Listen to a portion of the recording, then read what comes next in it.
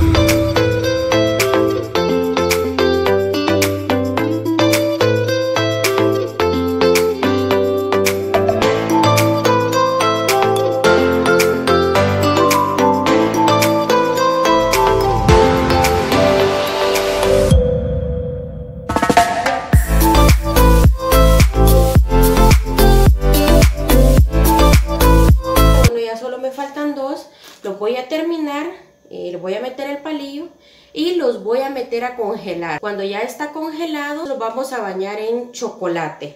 Yo los dejaré por la noche y eh, continuaré después con el video para que vean eh, cómo quedarán mis chocobananos. Ok, acá quiero que vean que ya tengo mis bananitos en el congelador. Los vamos a dejar acá toda la noche y mañana prepararemos nuestros chocobananos. Bueno amigos, vamos a preparar, vean, el chocolate. Está duro porque yo lo metí en el refrigerador para que no costara sacarlo. Entonces ahora lo que vamos a hacer es que lo vamos a cortar. Yo acá tengo, vean, puse acá eh, a calentar este sartén con agua y adentro un recipiente de metal. Entonces vamos a deshacer el chocolate Vean amigos, entonces ya lo logré echar acá el chocolate. No sé si logran observar que acá se va deshaciendo poco a poco. Pero este chocolate había fijado que ya venía con maní. Vean que aquí dice maní. Compré estos pitillos, se llaman aquí en Costa Rica. Ok, vean acá. Ya está líquido. Ya el chocolate está completamente deshecho. Entonces vamos a sacarlo de acá para llenar nuestros bananos. Y vamos a empezar a llenarlo de chocolate. Es súper, súper fácil. Vean que como les dije antes, este chocolate ya traía maní, yo no sabía. Yo pensaba pasarlos, igual lo voy a hacer para que, para que lo vean. Vean,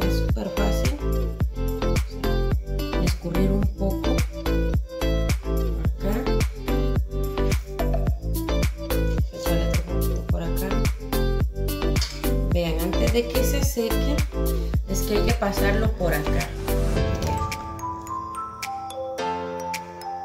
Vean, este es el resultado final. Ahí están mis chocobananos y quedaron deliciosos.